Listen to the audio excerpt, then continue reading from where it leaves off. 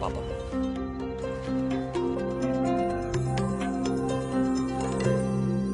पापा इतनी रात को आप यहाँ? बेटा वो मुझे नींद नहीं आ रही थी। सोचा छत पर टहल लूँ। पर आप लोग अच्छा आप रुको। मैं जाता हूँ बेटा। गुड नाइट पापा। गुड नाइट बेटा। देखा? कहीं भी कभी भी मुँह उठा के आ जाते हैं। अरे प्राइवेसी नाम की कोई चीज़ है या नहीं? रूपाली कमॉन तुम्हें तो पता है ना मम्मा के जाने के बाद वो थोड़ा डिस्टर्ब रहते हैं। अरे क्या डिस्टर्ब रहते हैं यार? हमारी लाइफ तो डिस्टर्ब कर रखी है ना? जब देखो दिन में भूतों की तरह मंडराते रहते हैं। कभी इन्हें चाय चाहिए कभी पानी चाहिए कभी इनको दवाई नहीं मिल रही है कभी चश्मा रख के भूल जाएँगे। चौबीस घंटे बस इनके कामों में लगे रहो। ऊपर से कहीं बाहर जाने लगो तो छत्तीस सवाल करते हैं। गलती से घर में कोई आ जाता है तो उसे सीबीआई की तरह जाँच पड़ताल करेंगे। फ्रीडम नाम की कोई चीज़ है? ठीक है मैं करता हूँ कुछ ओके? अरे इसमें करना क्या है? इनको वृद्धाश्रम भेजो अपनी उम्र के लोगों के साथ रहेंगे तो इन्हें अच्छा लगेगा। और हमारा पीछा भी छूट जाएगा। रूपाली वृद्धाश्रम। हाँ। ठीक है मैं कल बात करता हूँ उनसे। पापा आपसे एक ज़रूरी बात करनी थी। बेटा मुझे भी तुम दोनों से एक ज़रूरी बात करनी थी। अच्छा हुआ तुम दोनों यहाँ आ गए। क्या बात करनी थी पापा?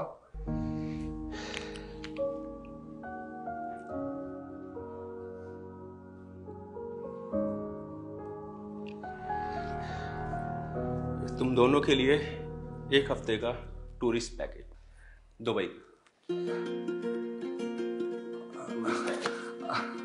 इसकी क्या ज़रूरत थी पापा? तुम्हारी शादी के फ़ौरन बाद तुम्हारी माँ चल बसी और तुम पति पत्नी कहीं घूम के भी नहीं आ सके। इसे मेरी तरफ़ से शादी का गिफ्ट समझो और खुशी खुशी घूम के आओ। थैंक यू सो मच पापा। हाँ बेटा आप लोगों को भी तुम मुझसे कुछ बात करनी थी? हाँ वो- नहीं नहीं कुछ नहीं कहना था पापा जी। वो तो हम लौट के आके भी बात कर लेंगे ना। ठीक है।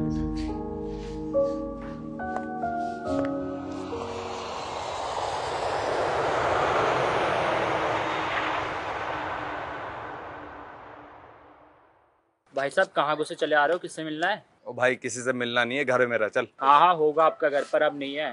पाँच दिन पहले ये घर बिक चुका है। बेच दिया? मैं कॉल करता हूँ पापा को। ओ भाई साहब ये फ़ोन ना साइड हट के चलाओ। अगर मालिक ने देख लिया ना बहुत गुस्सा करेंगे। पापा ये लोग कह रहे हैं कि आपने घर भेज दिया। जी हम आपका वेट कर रहे हैं।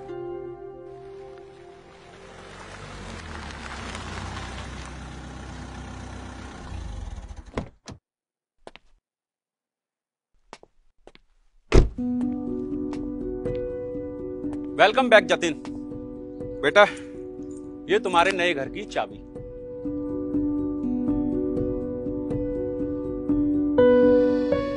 यहाँ नहीं? वहाँ। वहाँ मैंने तुम लोगों के लिए सी थर्ड में एक किराए का मकान लिया है।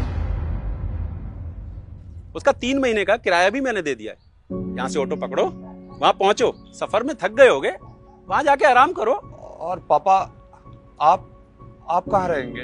मैंने इसी लाइन में एक दूसरी कोठी खरीद ली है। इससे थोड़ी छोटी है पर मेरे लिए काफ़ी है। पापा आप कैसे कर सकते हैं ऐसा?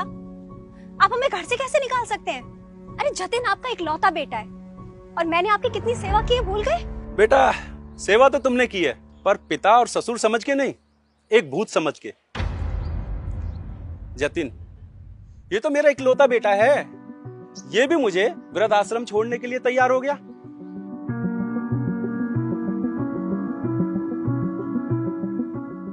तुम दोनों अब मेरी तरफ़ से बिल्कुल आज़ाद हो। तुम्हारा जो मन करे, वो करो। जतिन, कभी बाप से मिलने का मन करे ना तो आ जाना। और हाँ आने से पहले बेटा, कॉल ज़रूर कर लेना। क्या पता मैं मिलूं या नहीं मिलूं? वो क्या है ना, मैंने अपने जैसे बुज़ुर्गों का एक ग्रुप बनाया है। और लाइफ को लेकर हमारे बहुत सारे प्लान हैं। ठीक है बेटा? अच्छा मैं चलता हूँ। पापा पापा प्लीज़ गलती करके बेटा, अब क्यों रोता है? याद रख, बाप तो आखिर बाप होता है।